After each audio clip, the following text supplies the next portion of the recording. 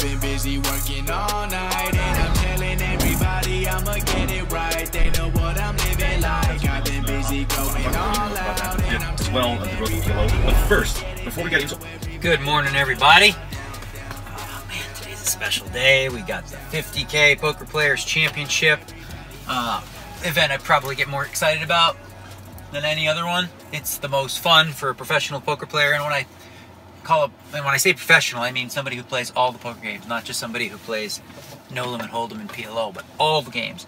But before we get to that, I need to have what's called a clear off. Okay. So essentially, a clear off is something that I I, I mainly did it in my journal last night, but I figured I'd share it with you.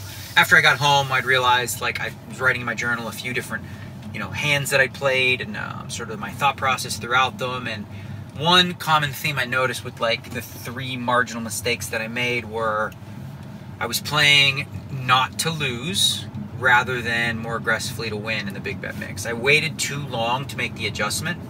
Um, so early in a tournament, you know, you have a lot of really weak bad players, and they play pretty strat- straightforward. And uh, you know, you don't need to be aggressive. You just need to wait for them to do dumb stuff, and you'll, you know, you'll get the chips. Now, later in events is when everyone's like, you know, playing more aggressive. They're playing better, so it for you know, you need to take more risks. You don't have the opportunity to just kind of like wait for them to blow off their chips. And I, I did. I waited too long. There's one example. I'll give you. I'll give you a couple. Ryan Hughes, four-handed no limit hold'em, raised four-handed, and I was the button with Ace Jack. Had about eighty thousand in chips. He made it six thousand, and I just flatted with the Ace Jack. And that's a hand that uh, I mean, I felt like I had a little bit of an awkward stack to three bet because for three bet I always have to call. But uh, I decided to flat, and that's just a mistake, especially against him because he's very, very aggressive. And then it came four, four, three and you know he bet small on the flop 8500 and i'm like oh man jeez i can't really represent much now i've put myself in a really bad spot by flatting and uh, there's just a very good chance i have the best hand here but do i have the coyones to go with it but i called the, the flop bet the turn was a seven he bet again and then i just folded the ace jack and it's like it just feels like man this guy could have he could have had like literally any hand there's a, I, I did pick up somewhat of a read that he was kind of kind of strong but that's irrelevant the point is i should have re-raised that one. Then another one, induced to seven single draw. Ashton Griffin raised the button to 8,000, and I had about 50 total, and it was in the big line, induced to seven with four, six, six, seven, eight. Not a great hand, but it's a one card draw to an eight with a straight draw. And Ashton's raising on the button. He's going to raise with a lot of bad hands, um, putting the pressure on. And um, I elected to call and drew one. and he drew two behind me. So if I would have just moved in there like I'm supposed to, I pick up the pot and we move on. Instead, he draws two. Now I make a pair of sevens, so now I bluff at it for 10,000. He calls. Now the bluff that I made with the deuce three four seven, I like that play. Frankly, I could have. Most people said like with deuce three four seven with three, dealt, you can easily re-raise that hand and go with it, you know, and draw three times. Um, I didn't, and I saved chips on that one. So sometimes it benefits you to like not go cuckoo. But the other hand, the very key hand, the chip leader right now is, is Jens something Meyer. He's a chip leader because of partly because of a hand that he bluffed me on, and I I should have took I took a long time, but I didn't take long enough. It was a hand where I uh, I had deuce five seven, deuce to seven triple draw. I called his raise, and then I caught a six. Then I called another bet of his when he was drawing, and then I made an eight going into the last draw. I checked, and he bet the pot, and I called. And then I just patted in front of him. He drew one, right? So now I checked, and he he bet it all. He bet all in. Um, but he did something I should have just picked up on and I missed it.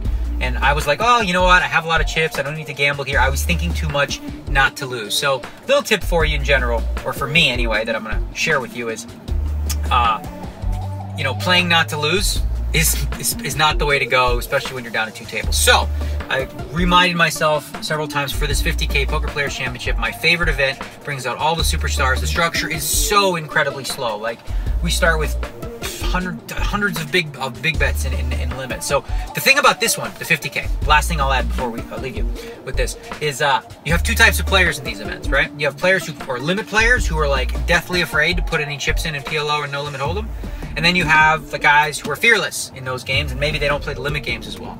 Um, what you want to be is you want to be a combination of both, a really good limit player and somebody who says, you know what, if there's a PLO hand and I have to go broke with it, I'll go broke with it. If you look at the people, the, the types of players that have won this 50K, you have big bet players. You know, Mike the Grinder Mizrachi played super aggressive in those level in those periods. You got Brian Rast, you know, very similar. Both of them have won it twice. So I'm going to look to just play for value, play properly, play aggressively if need be, and not as much tournament strategy in terms of like, oh, survival. I'm gonna try to look for value, not on day one. Day one is just playing poker. But I'm talking about in the late stages when it matters most. So, anyways, super proud of the fact that I am the whatever you want to call it, the 25k MVP so far. I've got the most points of anybody in the in the draft because what we do is we weight very heavily wins, final tables, second tables, and min cashes mean what they're supposed to mean. Fuck all, basically, right? Min cashes are min cashes. They're not supposed to get you a lot of points in a system. In our system, you get one point for a min cash. If you win a $1,500 event, you'll get like 60 points.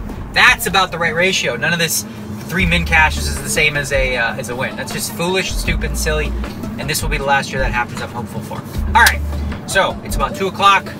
I got I'm taking a few pieces of a couple people, so I got to meet with them, you know, and uh, make some money transfers, do some business, and uh, then it's off to play. 3 p.m. I'll be there right on time.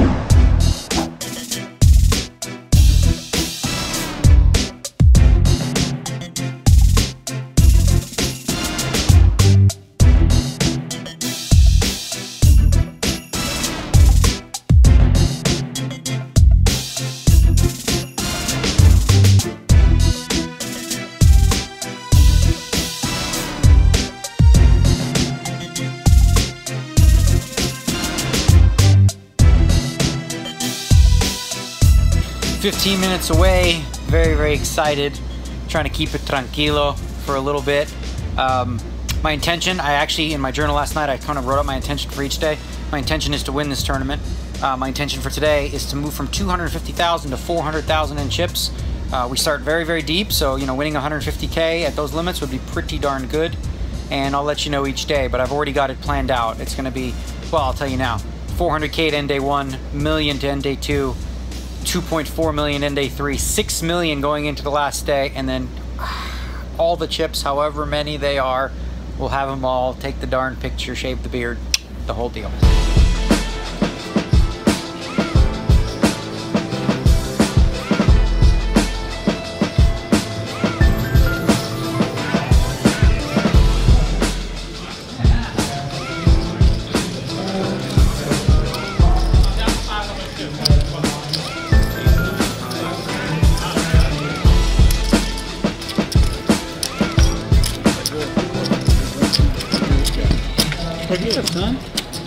哎。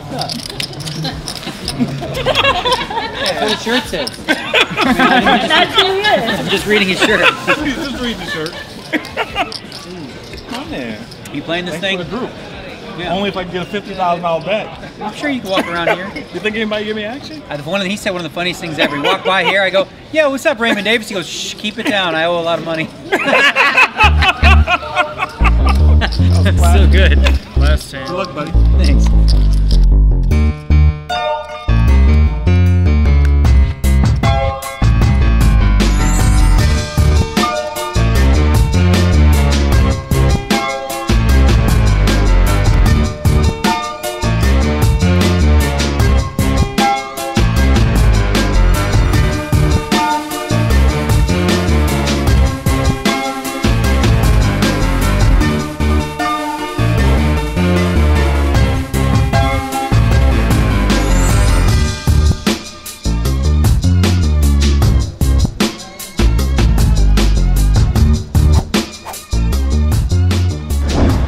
Pretty swingy first level for me, and the swing was all down. Uh, I start with 250k in chips, was down to 190,000, which is a lot in, in this format.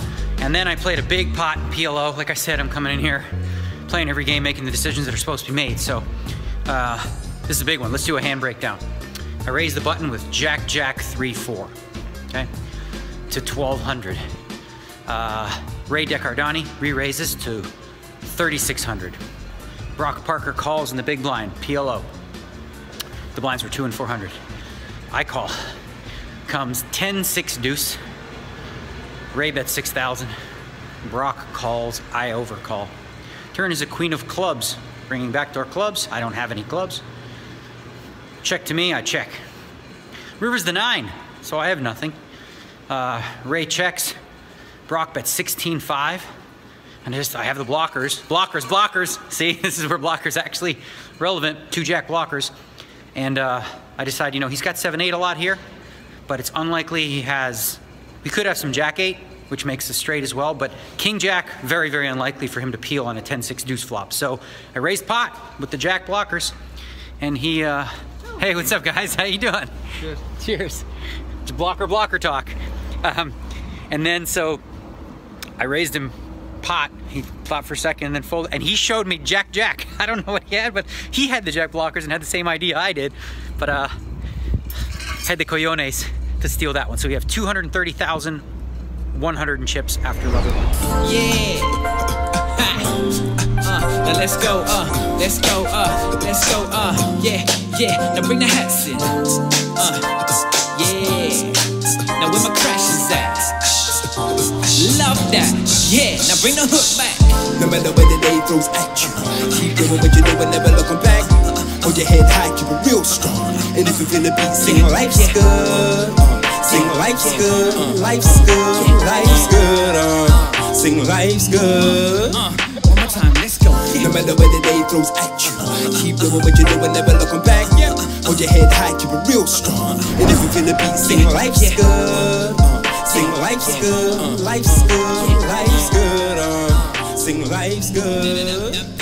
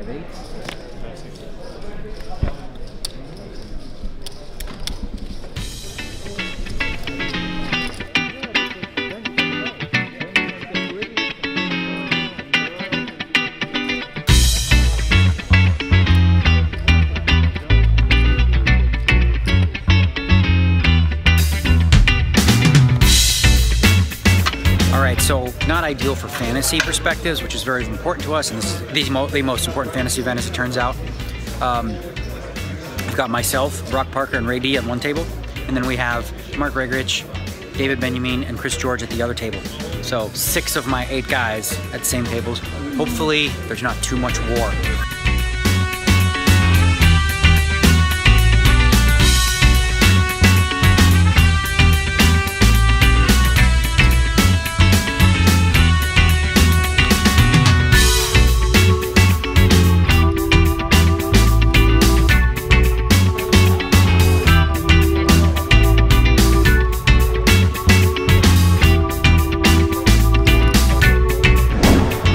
Level two, 275, 500. I'll update e- each level. i it's fun for me. This is like my championship event. So each level we'll update the stack. Moving on in the right direction. Ray D got moved. Brock's still at my table, but the other table that had three of my guys at it, uh, they all dispersed because you know, adding tables. A huge turnout. 71 players already after level two. This could break last year's record.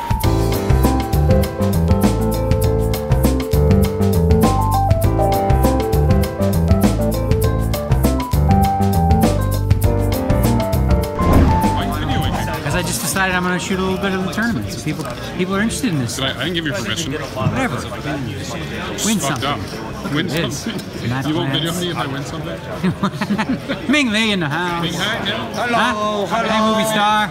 Hello. Movie star. People, Ming. Hello, sir. Eugene in the Yeah, house. he must say hi to the people. Want to say hi to people? Hi. I'm Wing Lee. Hey, it's Ming Lee. Movie star, huh? Lucky you. You're movie star. That's okay. Jungle All the superstars in the house today. Yes, everybody. That's the Jungle Man. People, Jungle Hello. How you doing, man? You're looking svelte. All right. Huh? You're looking svelte. What is that? Delivery? Svelte, lean, shredded, muscular. Oh, how did that happen?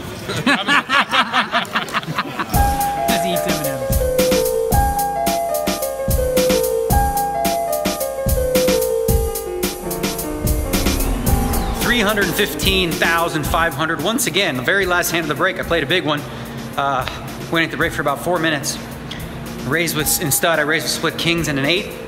Um, Keith Gibson re-raised me with the six of spades. Mike Matusow calls the eight, with an eight of clubs. He calls a re-raise. So I'm like, that's a three card club hand, especially because I have an eight in the hole. Make a long story short, Mike catches a 10 and an eight, open eights, and I have a three and a deuce with my king, king, eight, eight. Uh, and behind me is Keith Gibson, who's got king, six of spades showing, and a three of clubs. Mike bet the open eights.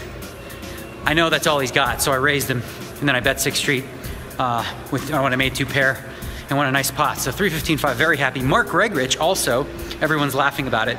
He busted Daniel Cates in No Limit Hold'em with aces against ace king suited. Now remember when I told you there's some guys in the tournament that are like not gonna do crazy stuff in the no limit?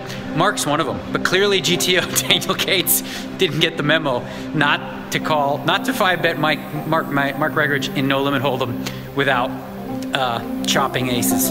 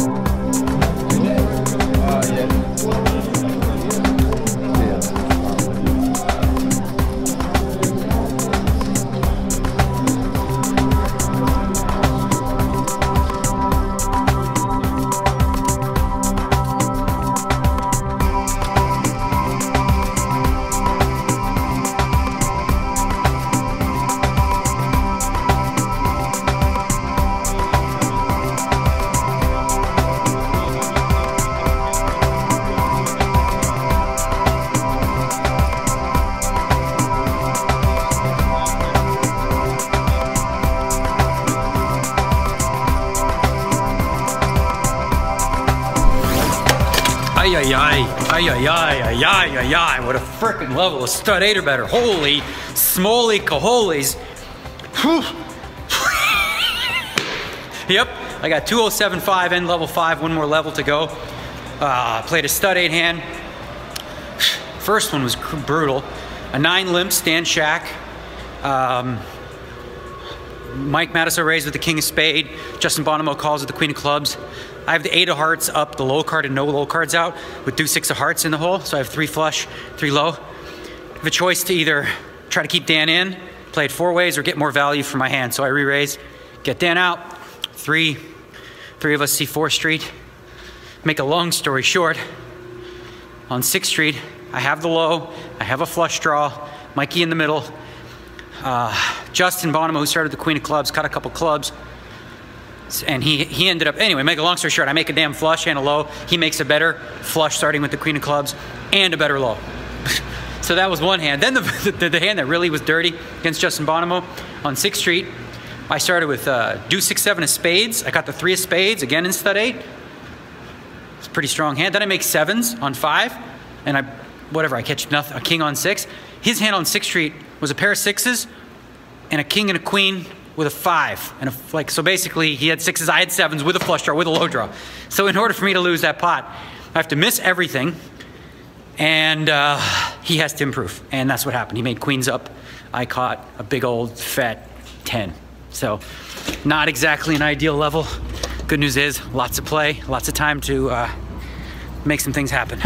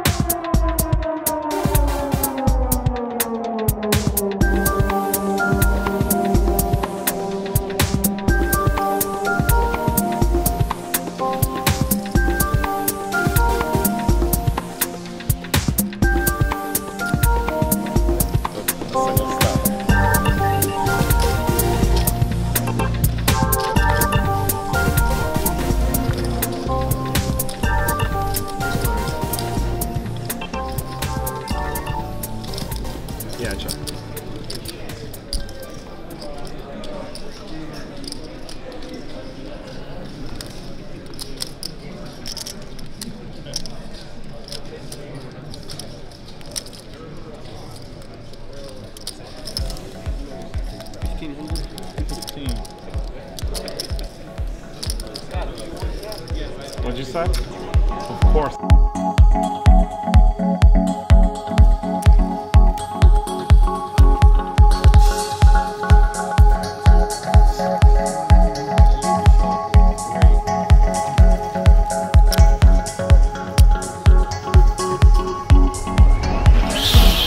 Okay, so we're see you later, bud.